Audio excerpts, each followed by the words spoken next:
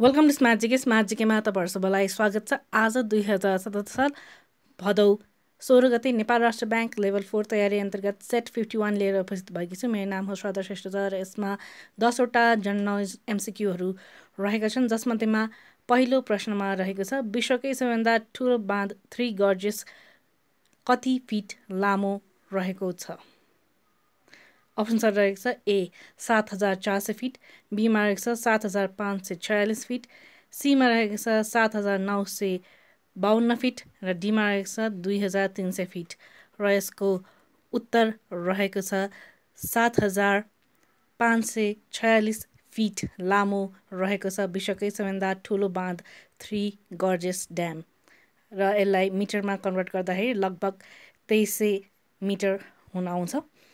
त्यही दोस्रो प्रश्नमा रहेको छ कालिका देवी गुफा कुन जिल्लामा अवस्थित छ? अप्सन छ रहेको छ A Okhaldhunga B Ramechhap C Dolakha D Khotang.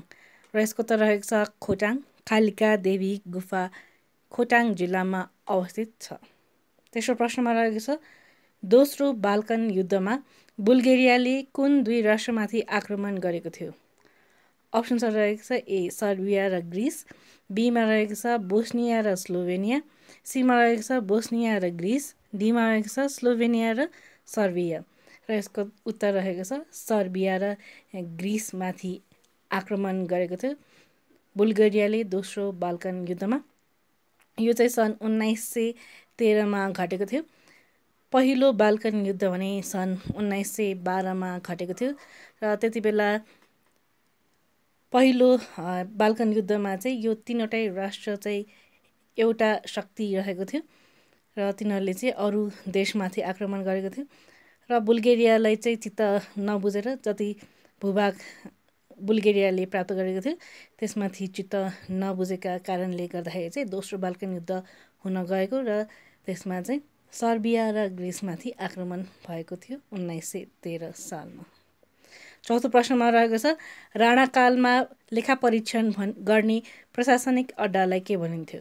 Option रहेको छ A Kanel Chowk B Kumari Chowk C Mapchok D Munshi Khana. र यसको उत्तर रहेको छ कुमारी चोक राणाकालमा लेखा परीक्षण गर्ने प्रशासनिक अड्डालाई कुमारी चोक भनिन्थ्यो।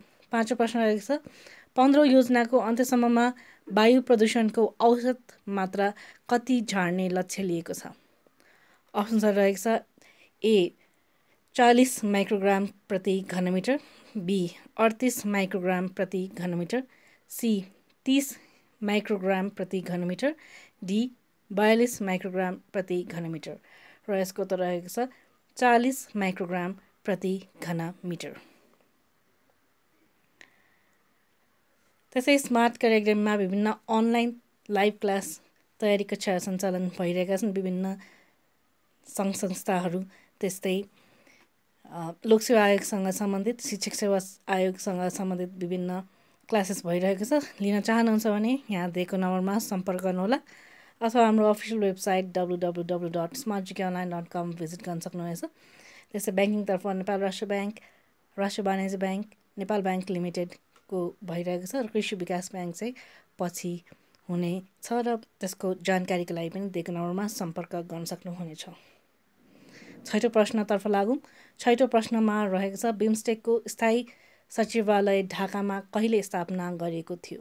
अप्सन छ रहेको छ ए सन् उन्नाइस सय उनान्सय सेप्टेम्बर तेह्र बी सन् दुई हजार चौध सेप्टेम्बर तेह्र सीमा रहेको छ सन् दुई हजार दस अक्टोबर तेह्र डीमा रहेको छ सन् दुई हजार बाह्र अक्टोबर तेइस र यसको उत्तर रहेको छ सन् दुई हजार चौध सेप्टेम्बर तेह्र तारिकका दिन।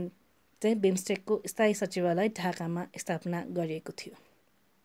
सातौँ प्रश्नमा रहेको छ नेपालका सूचीकृत आदिवासी जनजातिमध्ये थारू जाति कुन समूह अन्तर्गत पर्दछन्?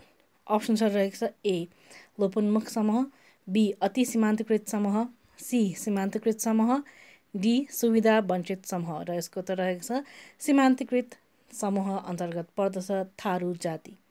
आठौँ प्रश्नमा रहेको छ युरोपियन गोल्डेन सु अवार्ड दुई हजार बिस कसलाई प्रदान गरिएको छ? अप्सन रहेको छ A Lionel Messi B Duvan Zapata C Cristiano Ronaldo D Ciro Immobile. र यसको उत्तर रहेको छ Ciro Immobile Italian footballer forward खेलाडी हुन्। चिरो इमोबिले र उहाँले चाहिँ युरोपियन गोल्डन सु अवार्ड दुई हजार बिस प्राप्त गरेका छन्। नौ प्रश्न रहेको छ। नेपालको संविधानको मस्यौदा समिता समितिका अध्यक्ष को थिए? अप्सन रहेको छ A Krishna Prasad Sitaula B Subhash Chandra Nemang C Jhalanath खला खनाल डी भीमबहादुर रावल र यसको उत्तर रहेको छ कृष्ण प्रसाद सिटौला। नेपालको संविधानको मस्यौदा समितिका अध्यक्ष कृष्ण प्रसाद सिटौला थिए। दसौँ तथा अन्तिम प्रश्नमा रहेको छ मुलुकी दिवानी संहिता दुई हजार चौहत्तर अनुसार चल सम्पत्ति देखाएका मध्ये कुन हो? अप्सन रहेको छ ए जमिनसँग आबद्ध खानी बी नदी सी धितोमा रहेको हक र डी भूमिगत रूपमा रहेको पानी र यसको उत्तर रहेको छ धितोमा रहेको हक। धितोमा रहेको हक चाहिँ चल सम्पत्ति भनेर वर्गीकरण गरिएको छ मुलुकी देवानी संहिता दुई हजार चौहत्तर अनुसार। हस् यो प्रश्न साथै आजको भिडियो यहीँ टुङ्गन चाहन्छु। जाँदा जाँदै स्मार्ट कार्य एक्जाममा विभिन्न अनलाइन क्लासेस भइरहेका छन्। लिन चाहनुहुन्छ भने दिएको नम्बरमा सम्पर्क गर्नुहोला अथवा हाम्रो official website W W W dot smart online dot com visit गर्न सक्नुहुनेछ। र यदि हाम्रो भिडियोहरू मन परिरहेको छ भने लाइक सब्सक्राइब कमेन्ट सजेस्ट र सेयर गर्दै गर्नुहोला। धन्यवाद।